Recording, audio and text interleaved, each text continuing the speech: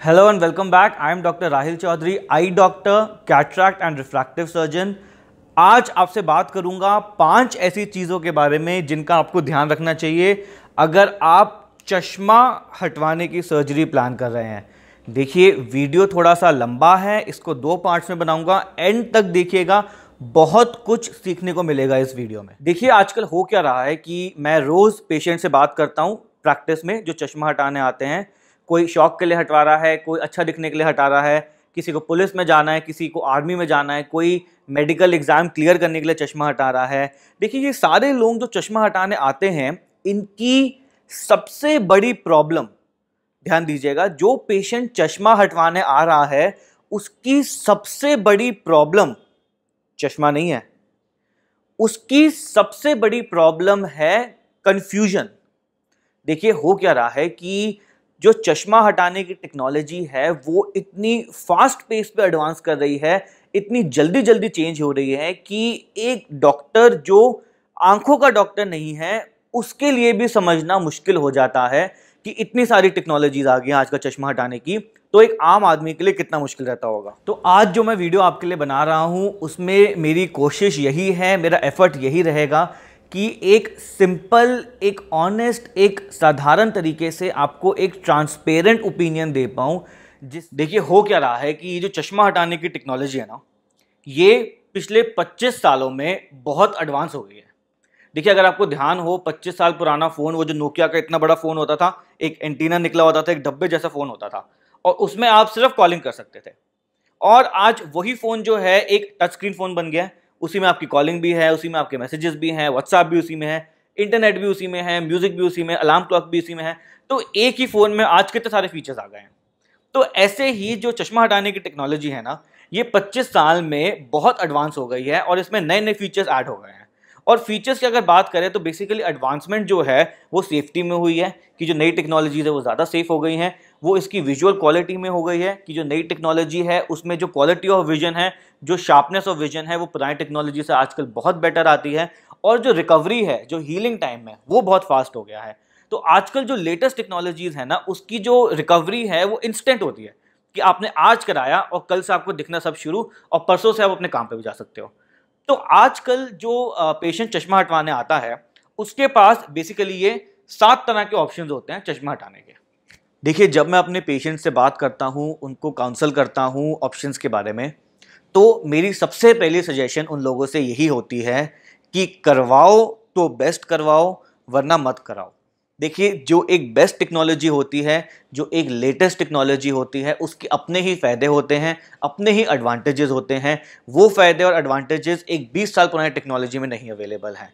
But yes कुछ लोगों के लिए ये एक फाइनेंशियल प्रॉब्लम बन जाती है, क्योंकि ये जो लेटेस्ट टेक्नोलॉजीज़ है, इनका प्राइस थोड़ा सा ज़्यादा होता है। तो मैं उन लोगों को बोलता हूँ कि अगर आप वेट कर सकते हो तो थोड़ा सा वेट कर लो छः महीने वेट कर लो, एक साल वेट कर लो, थोड़े से पैसे इकट्ठे कर लो चश्मा हटाना जो है, कोई बीमारी नहीं है, चश्मा पहनने कोई बीमारी नहीं है। अगर आप वेट कर सकते हो तो वेट कर लो, लेकिन टेक्नोलॉजी में कॉम्प्रोमाइज़ मत करो। लेज़र ऑपरेशन एक ही बार होता है बंदे की लाइफ में और ये आँखें आपके नेक्स्ट पचास साठ साल चलनी है। तो कुछ लोग वेट कर लेते हैं बट येस कुछ लोगों को जल्दी होती है, किसी स्पेसिफिक पर्पज से वो जल्दी कराना चाहते हैं। तो उन लोगों को मैं ये बोलता हूँ कि एक मिनिमम स्टैंडर्ड अपनाओ, उससे नीचे मत जाओ।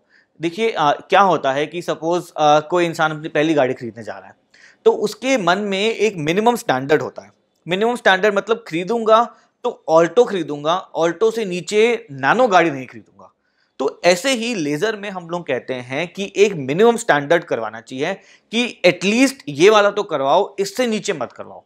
तो आजकल जो है मिनिमम स्टैंडर्ड जो है एस के और एस के क्यू ये दोनों जो हैं मिनिमम स्टैंडर्ड में आते हैं आजकल कि अगर आप चश्मा हटाने की सोच रहे हैं फाइनेंशियल प्रॉब्लम है तो एक ये वाला ऑपरेशन तो एटलीस्ट कराएँ, इन दोनों में से कोई एक इससे नीचे ना जाए।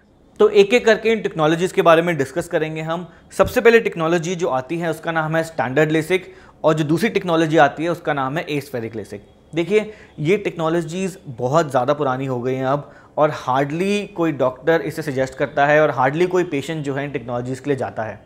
देखिए इन टेक्नोलॉजीज़ का एक नुकसान ये है कि इन टेक्नोलॉजीज़ में एक प्रॉब्लम आती है जिसको हम कहते हैं halos and glares halos and glares का मतलब ये है कि जब आप रात को आ, सड़क में निकले या किसी तेज़ रोशनी को देखें तो उन रोशनी के आसपास आपको रंग बिरंगे छल्ले जैसे नज़र आ सकते हैं। तो वो चीज़ बहुत डिस्टर्बिंग हो जाती है इस टेक्नोलॉजी में कई पेशेंट्स के लिए। ठीक है, एक ऑप्शन रखा हुआ है क्योंकि ये टेक्नोलॉजी बहुत सस्ती पड़ती है। अगर आप चाहें तो इसमें करीब 20 से पच्चीस हज़ार में दोनों आँखों का ऑपरेशन हो जाता है। लेकिन काफ़ी कंप्लेंट्स आती हैं बाद में, जो इनको ग्लेयर लगती है हेलोज आते हैं।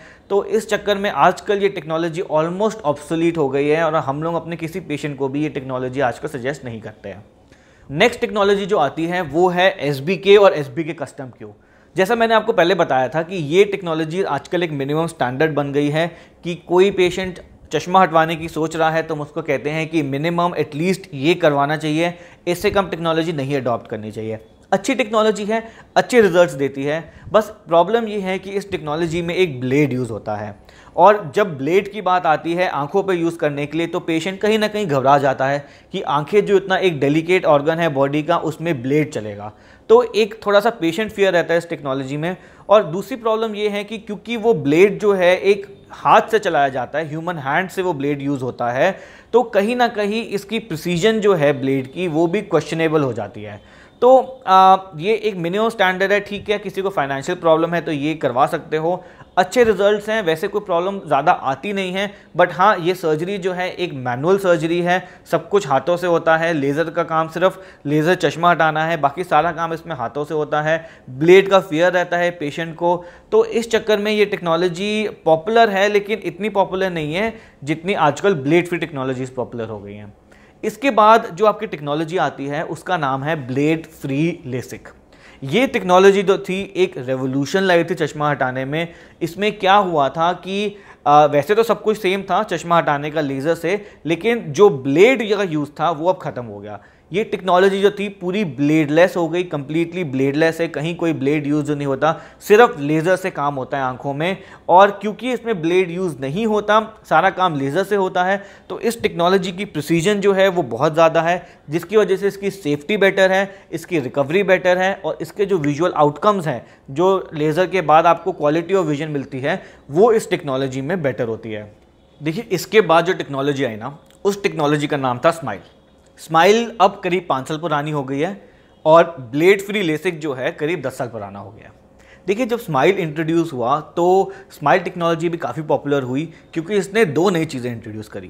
पहली इंट्रोडक्शन थी कि इस टेक्नोलॉजी में कोई फ्लैप नहीं बनता, पूरी फ्लैपलेस टेक्नोलॉजी थी। और दूसरी चीज़ जो इसने इंट्रोड्यूस करी, वो थी कि इस टेक्नोलॉजी में कोई ड्राई आई फील नहीं होती। देखिए, क्या होता था कि पुराने प्रोसीजर्स जो थे, जिसमें जो लेज़र प्रोसीजर्स थे उनमें क्या होता था, लेज़र के बाद पेशेंट को थोड़ी बहुत आँखों में ड्राइनेस फील होती थी, जिसकी वजह से उसको दो तीन महीने जो है लुब्रिकेटिंग ड्रॉप्स डालनी पड़ती थी। तो स्माइल जी की पॉपुलैरिटी थी इसी बेसिस पे कि इसमें ड्राइनेस नहीं होती। लेकिन अब क्या हो रहा है कि अब जब रिज़ल्ट सामने आ रहे हैं, बहुत सारी स्टडीज़ हुई इस टेक्नोलॉजी में कि एक्चुअली ये जो टेक्नोलॉजी कह रही है ड्राई आइज़ नहीं होती या फिर फ्लैप नहीं बनता, इससे कॉर्निया की स्ट्रेंथ जो है मेंटेन होती है, ये कितना सच है?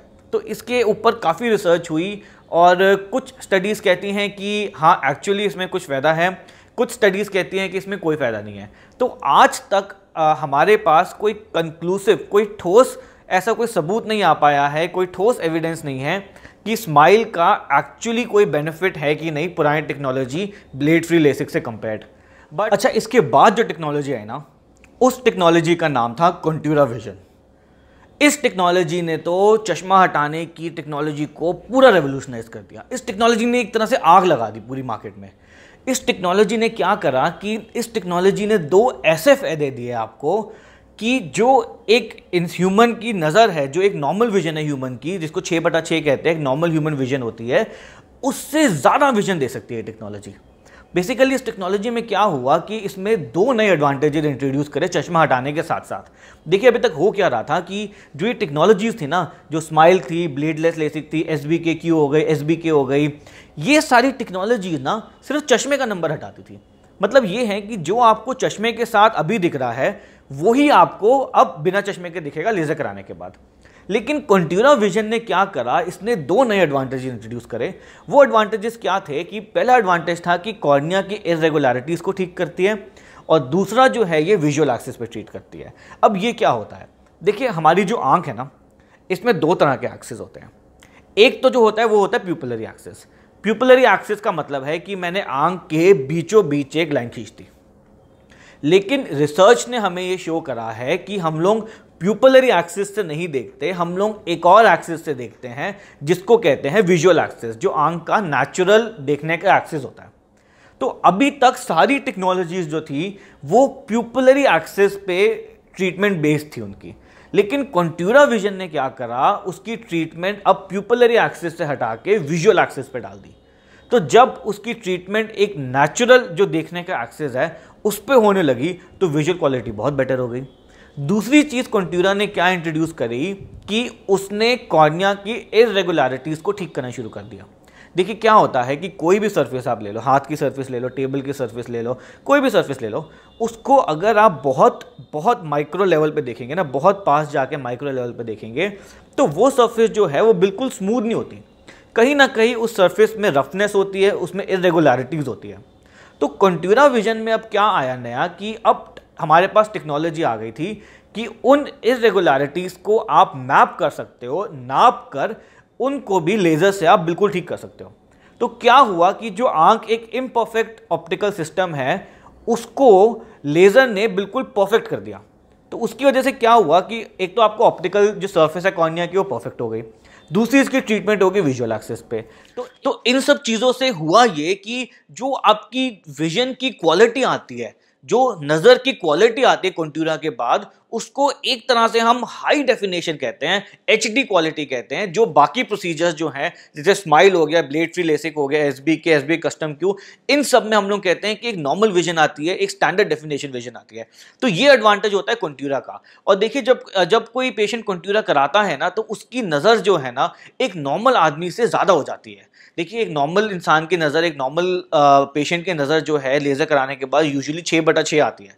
लेकिन जब आप कंट्यूरा कराते हैं तो कंट्यूरा में एक बहुत हाई चांस होता है कि आपकी विजन छः बटा चार छः बटा तीन और छः बटा पाँच इस तरह की विजन आती है। एक नॉर्मल आदमी से ज़्यादा विजन आती है इसमें। इसको हम लोग कहते हैं सुपर विजन कि एक नॉर्मल आदमी अगर छः बटा छः देखता है तो कंट्यूरा विजन में छः पाँच छः चार छः तीन एक सुपर ह्यूमन विजन हो जाती है, जो एक नॉर्मल आदमी भी नहीं देख सकता। तो ये एडवांटेज आया है नया कॉन्ट्यूरा में। और बहुत सारी रिसर्च हुई है इस टेक्नोलॉजी में। इस टेक्नोलॉजी को स्माइल से कंपेयर करा गया, इस टेक्नोलॉजी को ब्लेड फ्री लेसिक से कंपेयर करा। सारे रिजल्ट्स में यही सामने आ रहा है कि कंट्यूरा विजन जो है, अभी तक का सबसे बड़ा रेवोल्यूशन है चश्मा हटाने की। ये टेक्नोलॉजी जो है 2000 ट्वेंटी ट्वेंटी तक सारी बाकी टेक्नोलॉजीज़ को रिप्लेस कर देगा। हर बंदा जो है कंट्यूरा ही कराएगा क्योंकि इसमें इतने सारे एडवांटेजेस हैं। सेफ्टी बेटर है विजन क्वालिटी बेटर है रिकवरी इंस्टेंट रिकवरी है। आज कराए, कल से दिखना शुरू। दो दिन बाद काम पर जाना शुरू। तो इतने सारे एडवांटेजेस जब इसे इतने टेक्नोलॉजी के आते हैं तो एक रेवोल्यूशन हो जाती है। जैसे जब आईफोन आया था तो एक रेवोल्यूशन आया था, उसने बाकी सारे फोन्स को खत्म कर दिया। हर बंदा आईफोन चाहता था, क्योंकि इतने एडवांटेजेस थे। ऐसे ही तो ऐसे ही कंट्यूरा विजन के बारे में भी कहा जा रहा है कि इतने सारे एडवांटेजेस हैं टेक्नोलॉजी के, कि 2020 तक ये जो प्रोसीजर है कंट्यूरा विजन ये पूरी दुनिया में एक डिफ़ॉल्ट प्रोसीजर बन जाएगा। हर पेशेंट को यही सजेस्ट करा जाएगा। और बाकी टेक्नोलॉजी जो है, जैसे पुरानी टेक्नोलॉजी टाइम के साथ फेड आउट हो जाती हैं, वो भी टाइम के साथ फेड आउट हो जाएँगी। तो देखिए, ये सारा था कि जो आपके आजकल ऑप्शंस रहते हैं तो फिर हमारे पास सात ऑप्शंस हैं बेस्ट कंट्यूरा विजन है। हर बंदे को यही बोलूँगा, करवाओ कंट्यूरा विजन कराओ, उसके अलावा कोई और मत कराओ। एक इन्फीरियर टेक्नोलॉजी को नहीं अडॉप्ट करना चाहिए। ऑपरेशन आँख का एक ही बार होता है। आपकी ज़िंदगी के साथ इसको पचास साल और आपने इन्हीं आँखों के साथ जीना है, साठ साल इन्हीं आँखों के साथ जीना है। टेक्नोलॉजी में कॉम्प्रोमाइज नहीं करना चाहिए। हमेशा बेस्ट और लेटेस्ट टेक्नोलॉजी करानी चाहिए। तो ये तो हमारे हो गए ऑप्शन इनके बारे में। अब देखिए क्या होता है कि कोई भी टेक्नोलॉजी कराने से पहले ना, आपको सबसे पहले कुछ टेस्ट कराने पड़ते हैं। उन टेस्ट को हम लोग कहते हैं pre LASIK workup test basically क्या होता है कि सात आठ तरह के टेस्ट होते हैं, जिसमें हम लोग कॉर्निया जो आपकी पुतली है, उसकी मोटाई नापते हैं ड्राई आइज़ के लिए चेक करते हैं, हम लोग आँखों का प्रेशर चेक करते हैं चश्मे का नंबर चेक करते हैं पुतली फैला के चश्मे का नंबर चेक करते हैं, पर्दे की जाँच होती है, आपकी कॉर्निया की जो मैप्स होते हैं, वो निकाले जाते हैं। बहुत सारी तरह की इसमें जांचें होती हैं ये देखने के लिए कि आपकी आँख जो है लेज़र कराने के लिए फिट है कि नहीं। तो इस पर मैं ऑलरेडी एक बहुत बड़ा वीडियो बना चुका हूँ। नीचे लिंक दिया हुआ है, उस लिंक पे क्लिक करके आप उस वीडियो को देख सकते हैं। और सारा जो आपको डिटेल है प्री लेसिक वर्कअप टेस्ट के बारे में, उसमें वो समझ आ जाएगा। तो आज के वीडियो में इतना ही। नेक्स्ट वीडियो बनाऊँगा, उसमें डिस्कस करूँगा कि लेज़र से पहले किन चीज़ों का ध्यान रखना चाहिए लेज़र के बाद किन चीज़ों का ध्यान रखना चाहिए, और वो तमाम क्वेश्चन जो पेशेंट में से पूछते हैं मेरी रोज़मर्रा की प्रैक्टिस में, उन सब के बारे में डिस्कस करूँगा। अगर आप मेरी नेक्स्ट वीडियो की नोटिफिकेशन पाना चाहते हैं, जल्द से जल्दी जैसे ही मैं अपलोड करूँ तो सब्सक्राइब को क्लिक करिए बेल आइकॉन को क्लिक करिए, ताकि आपके पास नोटिफिकेशन इंस्टेंटली आ जाए। देखिए, मैं चाहता हूँ कि ये जो मैं वीडियोज़ बनाता हूँ ना, ये अगर कोई फैमिली आपका कोई फैमिली में कोई रिश्तेदार है या कोई फ्रेंड है और किसी को नीड है इन वीडियोस की, किसी को रिक्वायरमेंट है इस नॉलेज की तो उनसे आप ज़रूर शेयर कीजिए। और अगर आपको और कोई भी डाउट है तो आप मुझे कॉल कर सकते हैं, नीचे कमेंट बॉक्स में कमेंट कर सकते हैं। आपके सारे कमेंट्स मैं बहुत ध्यान से पढ़ता हूँ और उन सबका जवाब देता हूँ। तो आज के लिए thank you and I be back soon